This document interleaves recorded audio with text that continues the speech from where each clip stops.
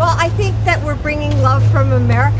I think that um, this is a global conference and we're trying to uh, bring unity across the globe. And I think that's important right now that people have feel a sense of unity from, for all the countries and feel a sense of hope after this year of the pandemic.